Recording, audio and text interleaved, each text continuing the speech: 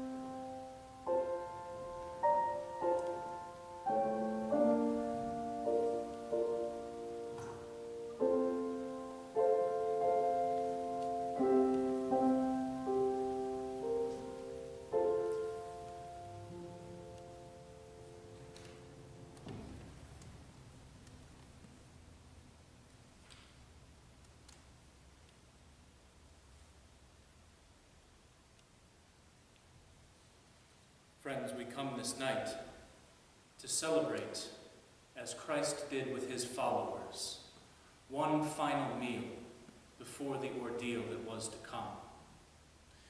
This is a meal offered to those disciples and to us in our own time.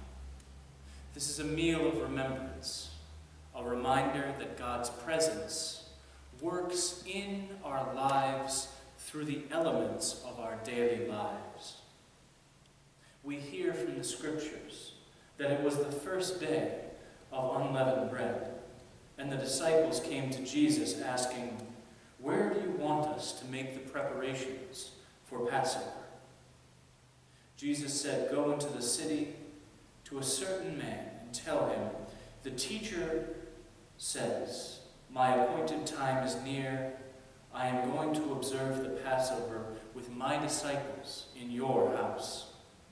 The disciples did as Jesus had instructed them, and they prepared the Passover meal. When the hour came, Jesus took his place at the table, surrounded by his disciples. He said to them, I have desired to eat this Passover with you before I suffer. I will not eat it again until it is fulfilled in the kingdom of God. He then took a cup, and after giving thanks, said,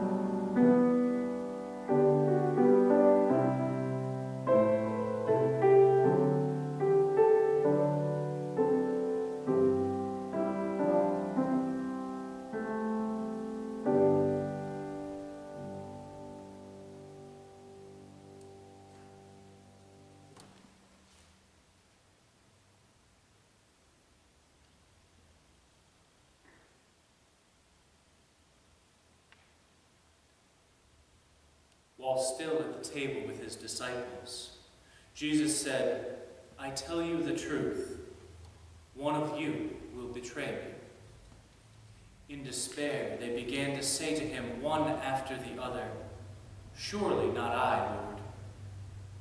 Jesus answered, The one who dips his hand into the bowl with me will betray me. Woe to that one who betrays the Son of Man. It would be better for that one if he had not been born. Judas, the one who would betray him, said, Surely not I, Rabbi.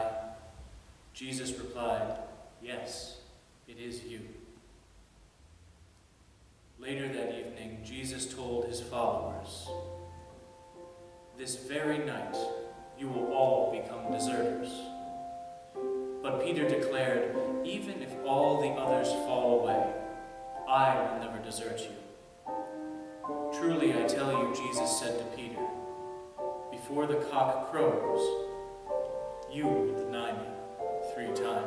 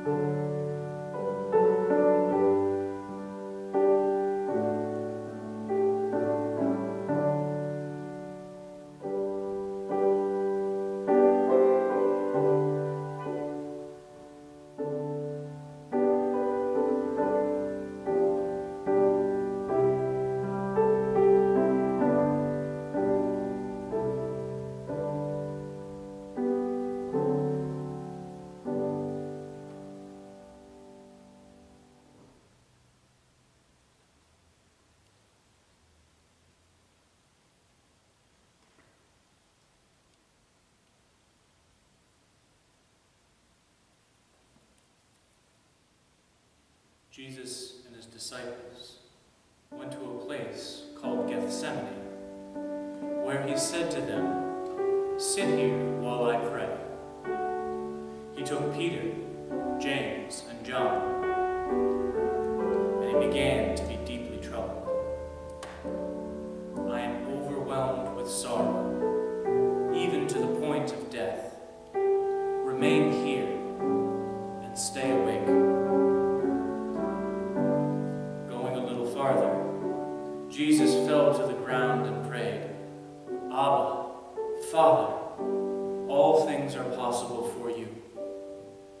Take this cup from me, yet not my will,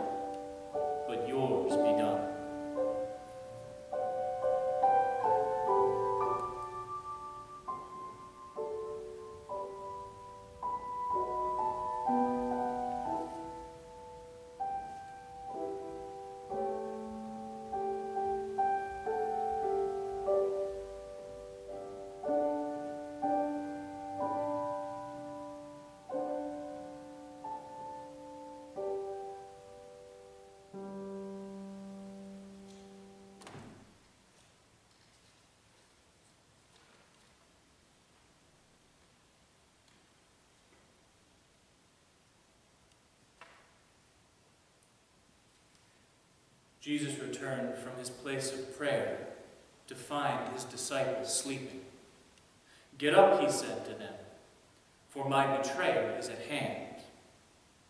While he was still speaking, Judas arrived, accompanied by a large crowd with swords and clubs.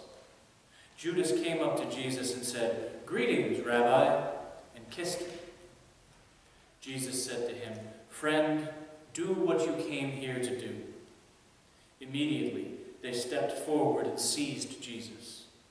He said to the crowd, Have you come with swords and clubs to capture me?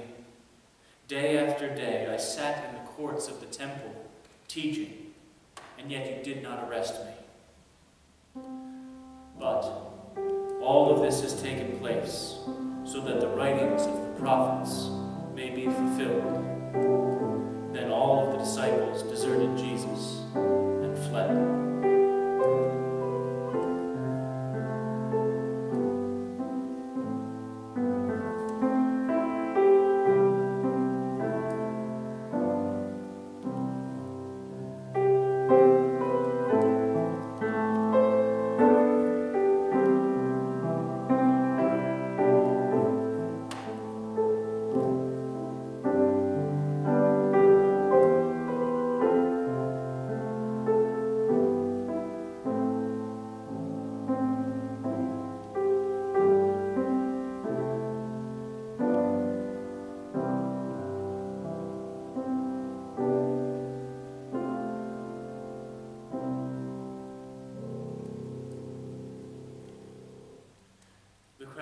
Jesus to the house of the high priest.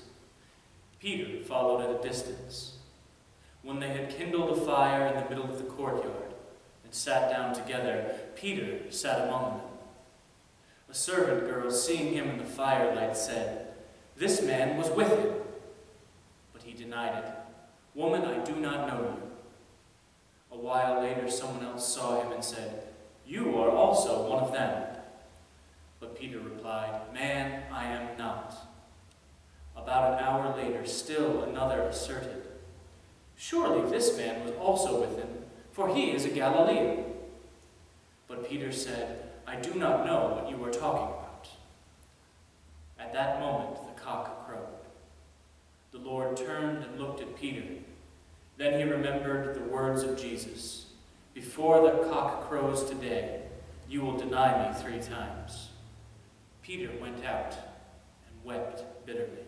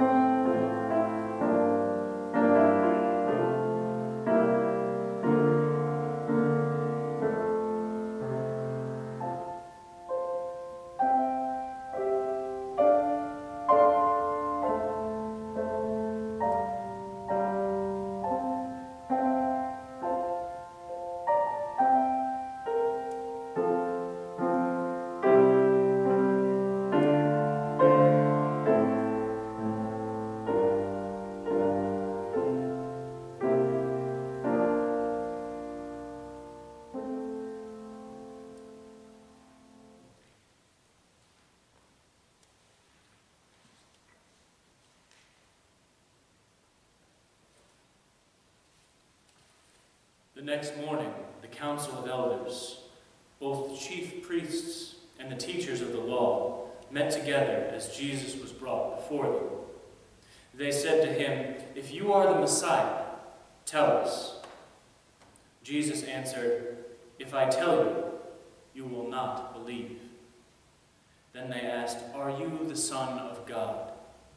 He replied, You are correct in saying that I am. What further testimony do we need? They said. We have heard it ourselves from his own lips. Then they brought Jesus before Pilate. But Pilate said to the chief priests and the crowds, I find no basis for a charge against this man. But they were insistent. Pilate, after learning that Jesus was under Herod's jurisdiction, sent him to Herod. But finding nothing by which to convict him, Herod sent him back to Pilate. Finally, Pilate said to Jesus' accusers, I have examined this man in your presence, and have not found him guilty of any of your charges. Neither then has Herod, for he sent him back to us.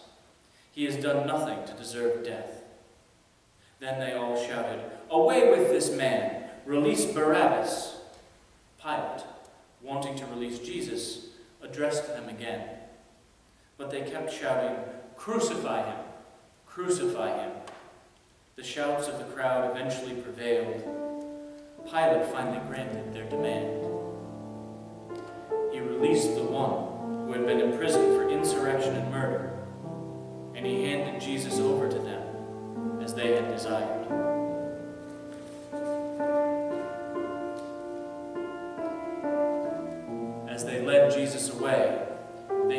Simon of Cyrene, and they laid the cross on him, making him carry it behind Jesus. A large number of people followed him, including many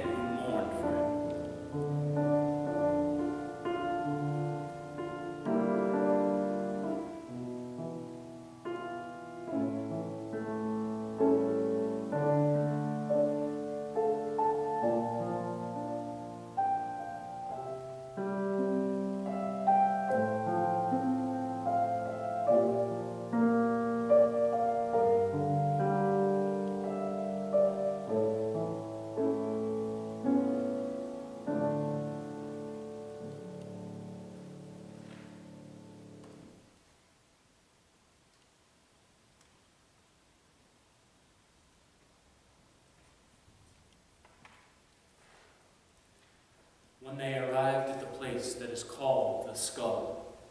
They crucified Jesus there along with the criminals, one on his right and one on his left.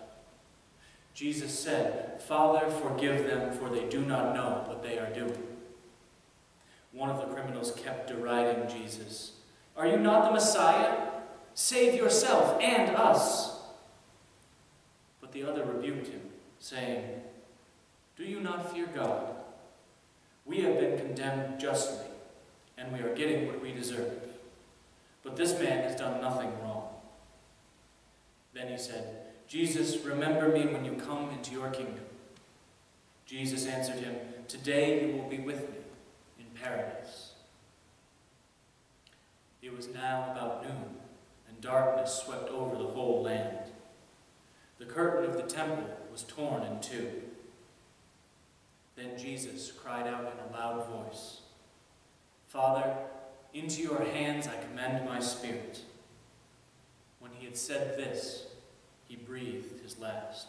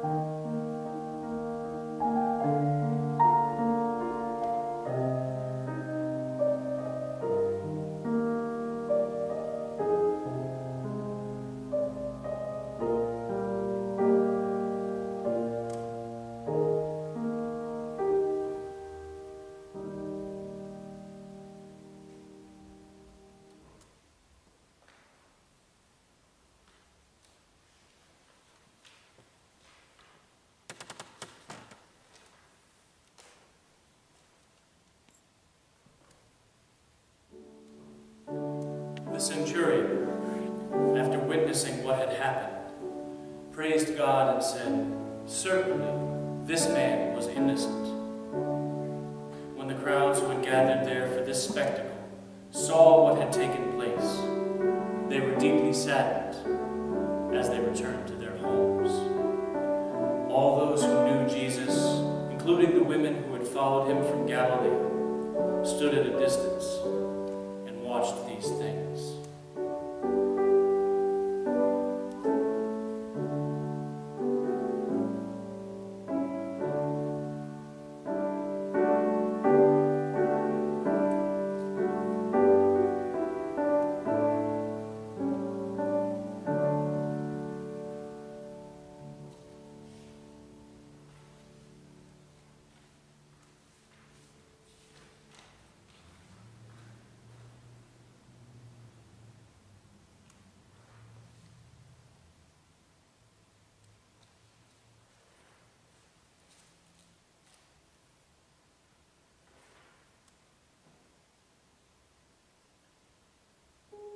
Jesus Christ, who, though being in the very form of God, did not consider